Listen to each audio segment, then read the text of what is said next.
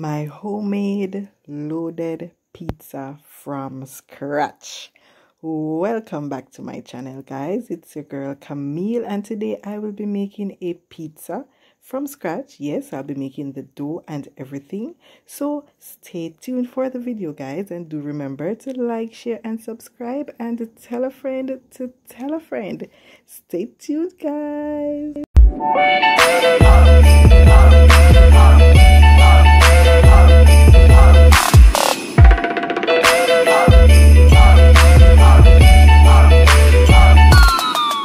So to begin the pizza, we first need the dough. So I have three quarter cups of warm water. Please don't make the water too hot nor too cold.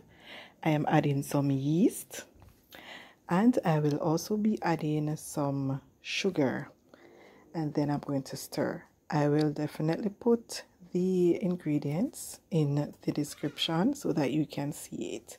So I'm going to stir that together. Make sure to dissolve everything in the warm water because yeast loves sugar. So yeah, we need both of them for the dough. Now after I have mixed all of this, I am going to set it aside and then I'm going to deal with the other ingredients for the dough.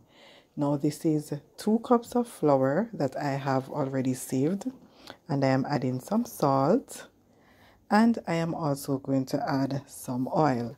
Now you can use olive oil, I used coconut oil, whatever oil you think you want to use, you can go ahead and do so.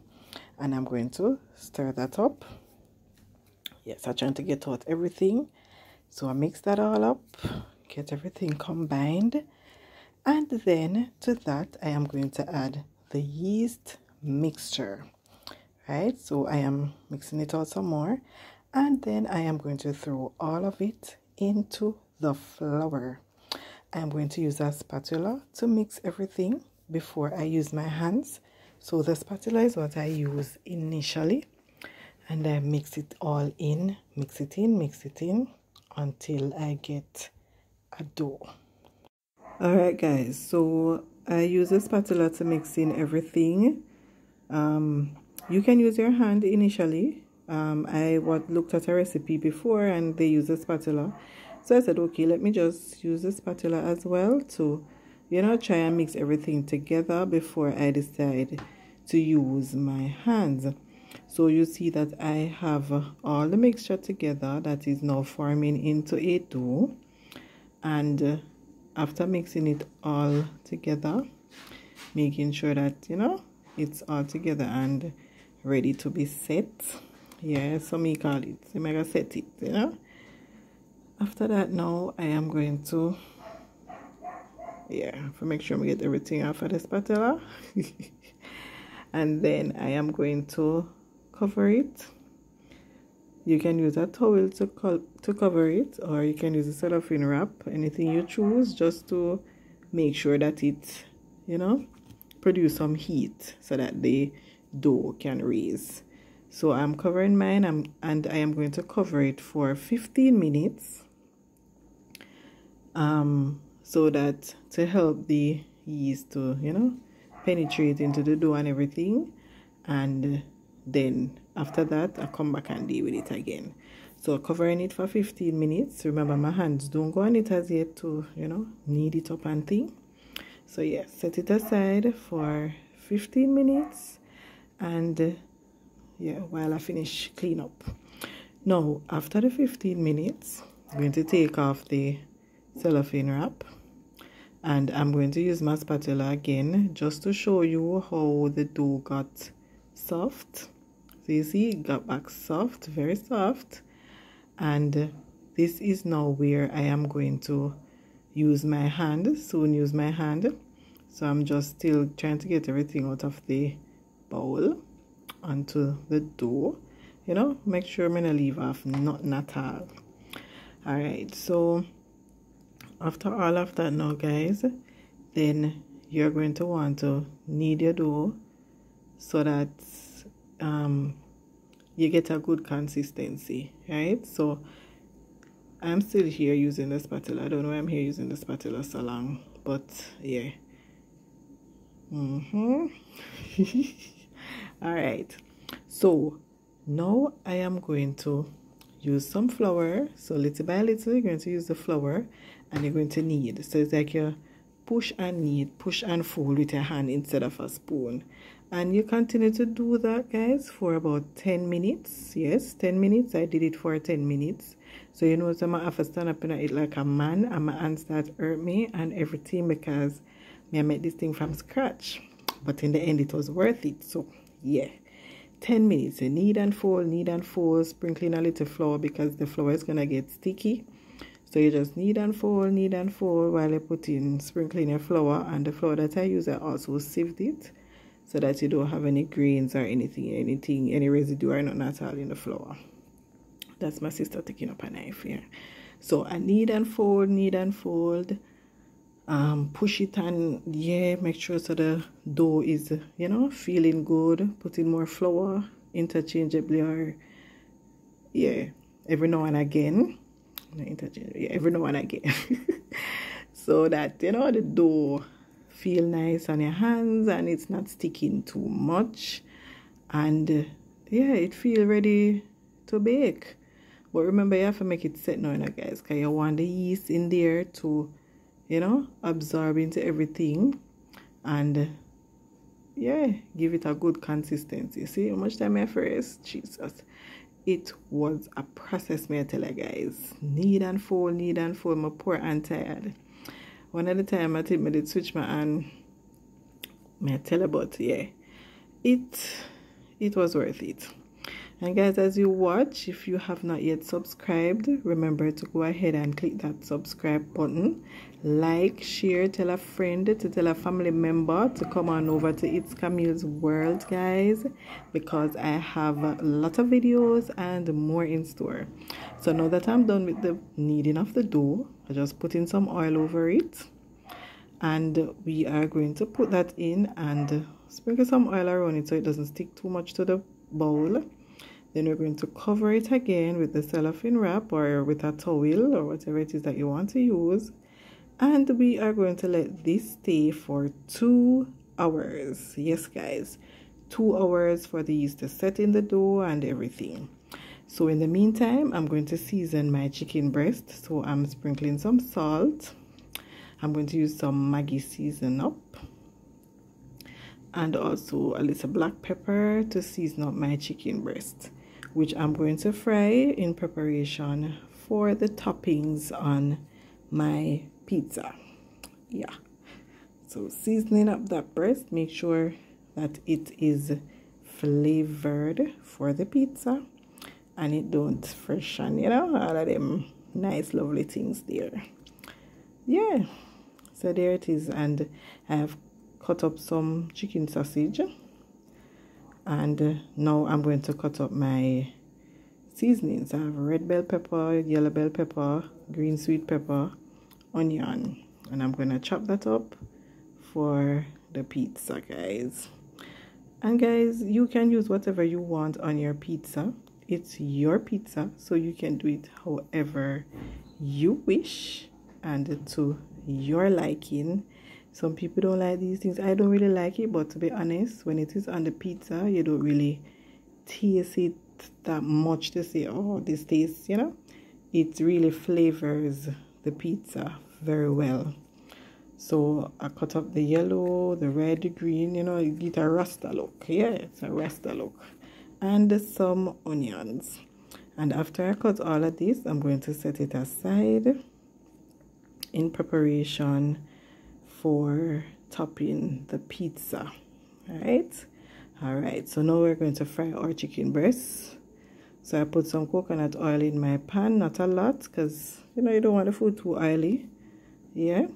And now the oil is hot. I am going to put in the chicken breast and let it fry until it is at a good you know color that you would like yeah so you turn occasionally and you put it in the hot oil so that it fries well and will be easier on the stomach when you are eating the pizza. Because remember the pizza gonna have on a bag of things right?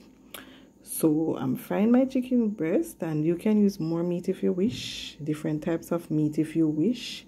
Because as i said remember it's your pizza so i like to turn my meat even before it brown guys. Just turn it when i'll touch it and then when that side fry again I turn it again. So you find me will turn my meat out much much different time before it done cook. Yeah.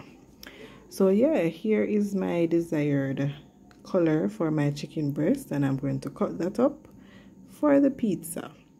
And also I put a little oil in the pot and I fry up the sausage a little you know just to cook it a little because it's not really all 100% raw but you know just to give it a little flavor as well. Stir that up in the pot and uh, yeah scrape it out and set it aside to put on the pizza dough as well. Now look at that guys. After two hours the dough is or the dough has risen and it is very soft and ready to be used. And i'm there playing with it because it feels so nice. Soft and nice guys but yeah. So went for my pan ready to put on my dough and uh, yeah going to spread the dough all over the pan now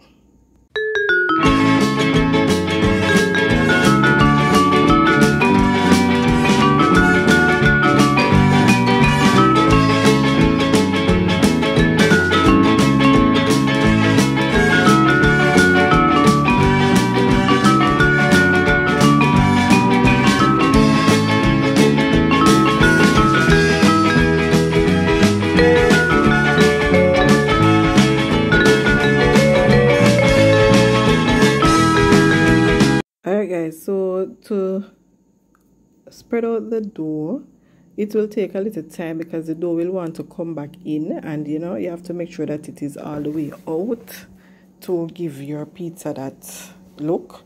If you want to use a rolling pin you can do so. I didn't have one and you know this process is okay too. It can work.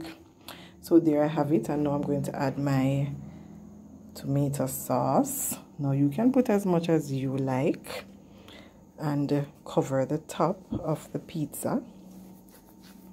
I didn't use a whole lot, but what I used was good enough, right? Spread it over the pizza, I spread it over the dough, I kind of reach pizza stage yet. Pizza, yeah.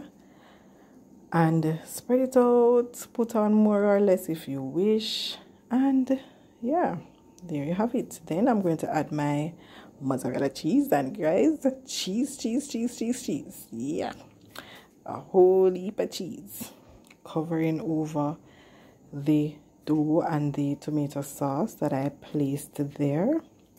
And you can use more cheese if you want to or less depending on your liking because the mozzarella cheese gives it a nice flavor and that stretchy look and you know everything so I actually used the entire bag of mozzarella cheese. I honestly do prefer the one that you grate, but I didn't get any. So I settled for that one. So now I'm sprinkling on some sharp cheddar cheese. Not much, just a little. Then I'm adding my bell peppers, sweet peppers, and onions to it. And as I said earlier, not everybody might like, you know, all of the holy past seasoning and stuff, but it works out, it works out. And look at my pizza, it's coming to come. The green and the yellow and the red, it pretty don't it pretty, yeah. It is pretty. So after I have placed all of those on it, see, nice and pretty, evenly spread, ready, ready up, ready up. Yeah, and now I'm putting on my onions and you can use the purple onion. I had the white one so that's what I used. Now I'm going to add my sausage. Mm -hmm. and you can use enough sausage guys. Or a little bit of sausage. I don't know what you like. Some people want bacon and it some people yeah anything you want you use. I used chicken sausage and I also used chicken breast. Yeah guys. So see that is so pretty so lovely. Mm sorry you guys couldn't get any? Yeah no, i'm sprinkling on my chicken. And i'm trying to make sure that the chicken is all over. So that no matter the slice that is cut everybody get chicken. And guys what is a pizza without pineapple? Hello? I had to put on my pineapple. Yeah. So so i'm sprinkling up my pineapple all over that pizza. Yeah, guys. Look there look there. Mm nice and lovely pretty. And after I've placed all of that yes make sure it is evenly spread. You know I'm going to put on the rest of mozzarella cheese on it because as I said I finished the entire bag. And I'm going to put on some more cheddar and put it in the oven put it in the oven. And guys um, it can be baked for 10 minutes. Now this was 5 minutes after. So I took it out after 5 minutes and put in some butter around the edges. You know give it some more flavor. You can use olive oil or coconut oil anything you choose. Any which oil you choose to put there. I am using some melted butter. And then we're going to put it back in the oven for another 5 minutes to bake. Look at that. Woo five minutes to bake. And voila look at that guys. Boy guys? Me tell you now only I want peace only I want peace because my pizza no that means not have none for me. No pizza wouldn't have none for me. Look there. It can it couldn't even last long. Thanks for watching guys. So I hope you enjoyed this homemade pizza. Comment down below if you want me to make something else my way it's Camille's World Way. Yeah, remember to subscribe. Tell a friend. Look there, guys. Look at that gooiness. Tell a friend to tell a friend to come on over to It's Camille's World. See you next time.